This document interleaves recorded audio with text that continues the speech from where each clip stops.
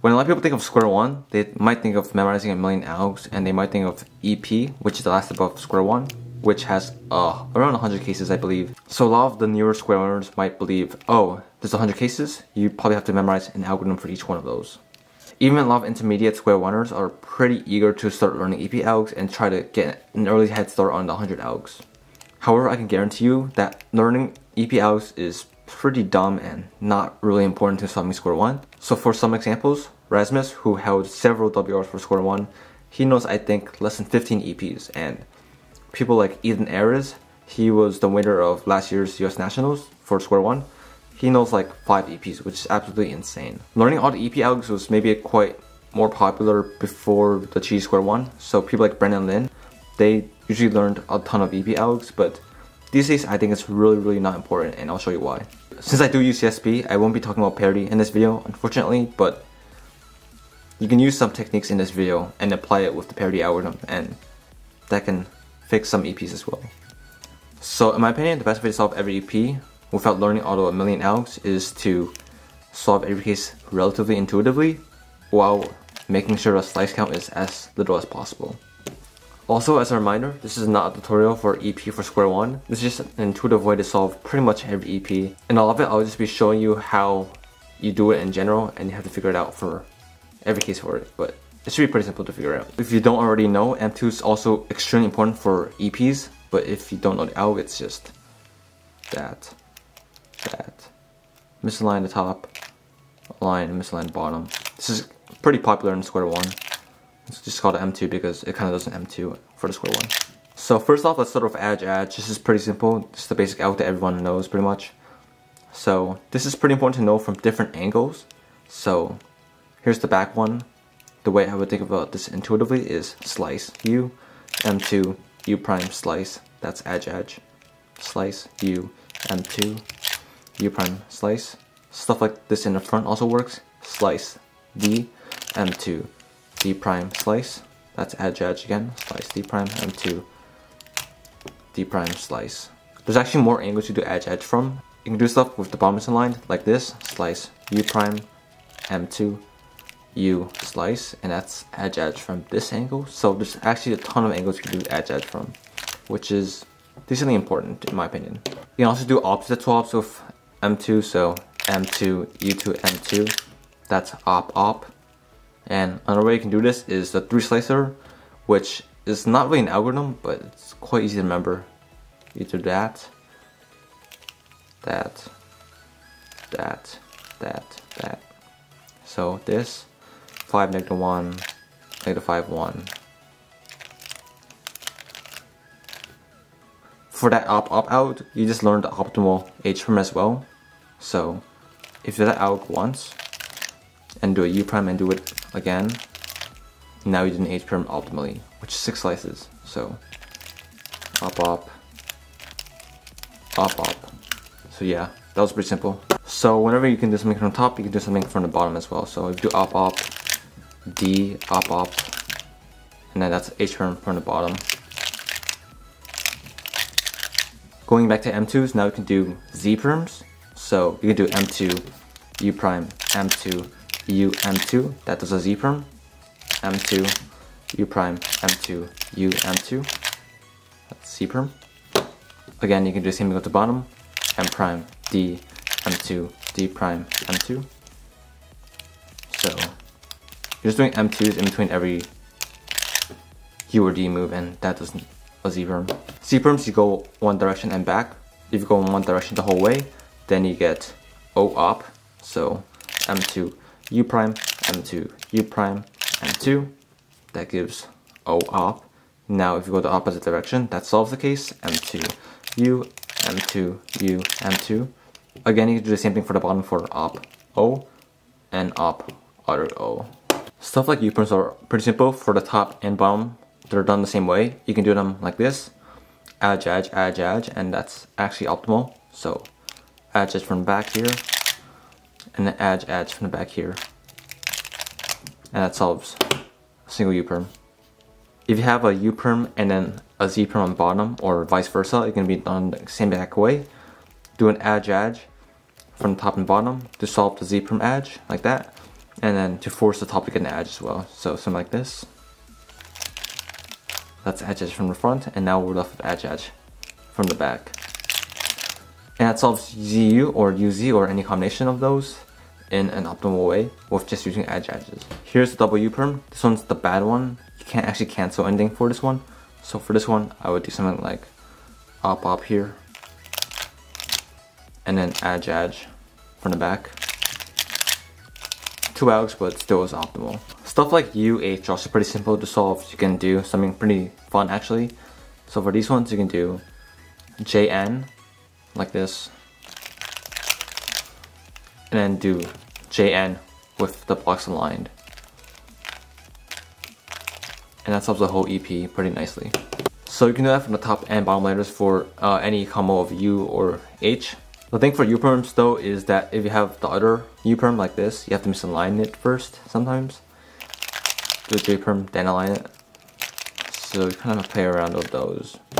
Stuff like Z, H, and HZ are also pretty simple. What you just do is something like op op, and then you're left with op o, oh, which is pretty simple. So yeah, stuff like that's pretty simple. You can do it like this too if H and top. It's same exact thing, op op, and then op o, oh, which is also easy. So you can also do stuff like setup moves. For example, here I have op edge. So what we can do is two slice setup move to bring this and turn it into edge. So to make this into an edge, you kind of want to move this edge here, hide this edge, move this over and bring it back. Now I have an edge, quote unquote. Now do edge edge swap here, slice D and to D prime slice, and then undo those setup moves and that solves op edge in a relatively optimal way and you can do this for op edge and edge op. Now I'll go a bit into cancellation. This is also pretty important part of doing square one. So let's try to do a double uh, U perm. So we can do it by op op and edge edge from the back and see how that's a double U perm. So the way you want to make this optimal is you do the op op Instead of doing the last move, which is slice, and then the edge edge, which is another slice, you don't do the last move at all and you go straight into the edge edge. Because it's a waste of time to just do slice slice because that's dumb. So in the end, this alg looks like this. Which is optimal. And then you can play around with the reverse of it, which is like this, you do edge edge first,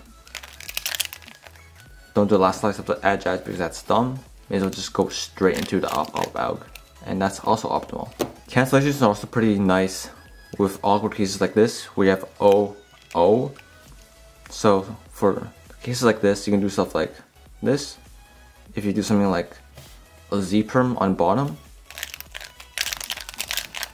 now you get O op, but you already know O op from before, so instead of doing that last M2, so Z perm on bottom. Something this last M2, why not just cancel into this O-op alg. Now you just saved a bunch of moves and that's optimal now. Stuff like ZZ with cancellations is also pretty nice. Edge edge from front, edge edge in the back. So do edge edge in the front first maybe. Don't do the last slice because it's useless. Go straight into edge edge of the other side, which is the back. And that solves the whole thing optimally. So edge edge in front, edge edge in back. But cancel it, so edge in front, go straight to the back. There's actually another op op out which switches ops from the side, like this. So way to solve this is slice u prime d m2 u d slice. Or you can go the other way, slice u, u d prime m2 u prime d slice. That solves op op from the side. So knowing that you can swap op op from the front, op op from the side to do a double H perm.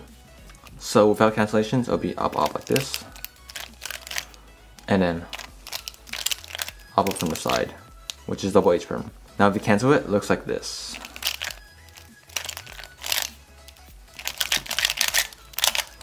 Op op, cancel to the side M2 thing, and then you're done. So for some awkward stuff like WW like this, you can do stuff like do the double H perm out, what we just did before, and then cancel into edge edge. And then that's still optimal, by the way. So yeah, so start with the H perm, op op, cancel into the side thing. Now instead of going and finishing off the H perm like this, we can realize that this leads into edge edge like this. So we can just go ahead and just cancel straight into the edge edge. So it'll be something like this. H perm out with the cancellation.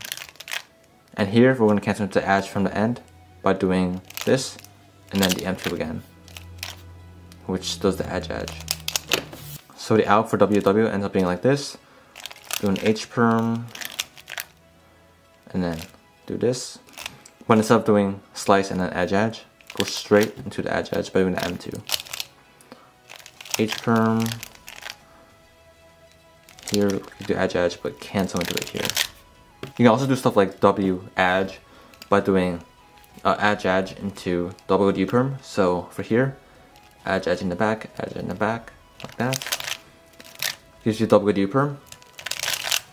So what we can do is double D perm, cancel into the op op, cancel into the edge edge, and that solves W edge.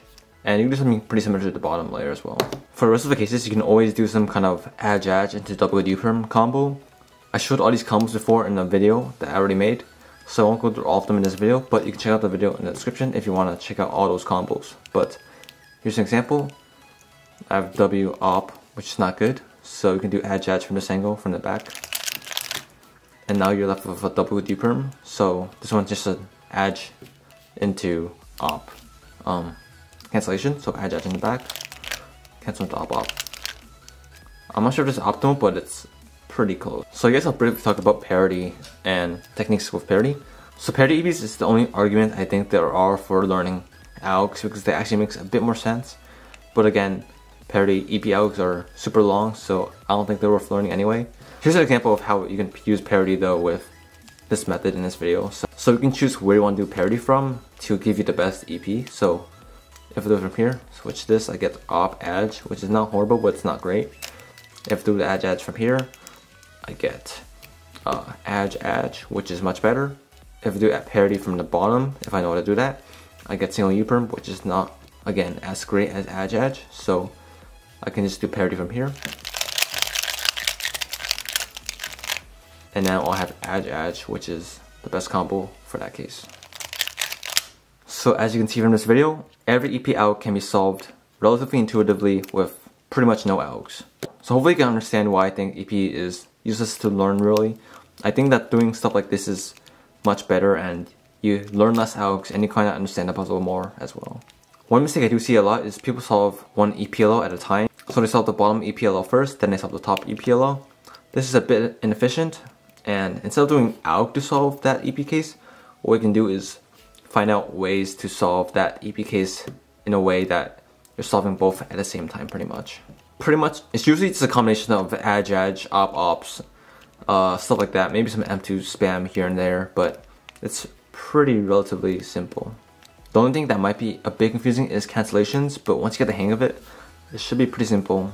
And the idea is just, instead of doing a slice twice, just go straight into the other out. So hopefully you can understand that technique and it's actually used in quite a bit of puzzles, so it's quite important to know. The general rule for EP for square one is if it's longer than 10 slices or 11 slices, then you probably are doing something wrong. And should probably be looking at what better solutions you can do for that EP. So hopefully this video was a bit helpful. If there are any questions, please leave them in the comments below. And hopefully this convinced you to not learn EP algs, but do EP a bit more intuitively.